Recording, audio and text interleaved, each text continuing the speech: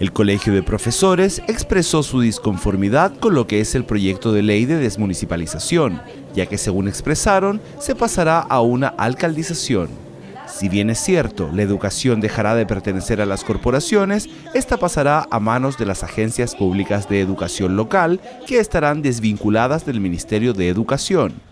Nosotros rechazamos enérgicamente este proyecto de desmunicipalización. Este proyecto de desmunicipalización realmente no viene a la gran y anhelada no solamente de nosotros los actores sociales en la educación, sino de la comunidad entera, que es el fortalecimiento de la educación pública. A su vez, otra de las medidas con las que no están de acuerdo en el gremio es la manera de elegir a los directores de colegios, que aunque será por concurso de alta dirección pública, la última palabra la tiene el alcalde que presida la APEL.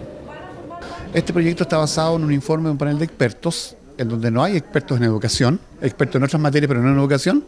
y que apunta a nuestro juicio, eh, ya conociendo el proyecto, en el mismo instante que lo conocieron los parlamentarios, eh, apunta a desmunicipalizar la educación, pero alcanzando importantes grados de privatización de la educación pública o lo que va quedando educación pública en Chile. Entre otras medidas que el magisterio rechaza está la continuación del sistema mixto, particular, subvencionado, municipalizado, la nula participación de alumnos y docentes en la toma de decisiones, la posibilidad de exigir un pago en colegios del Estado y la falta de estabilidad laboral que reviste la ley. Por esta razón, el Colegio de Profesores anunció que iniciará una serie de seminarios para difundir su postura a partir de enero del 2012.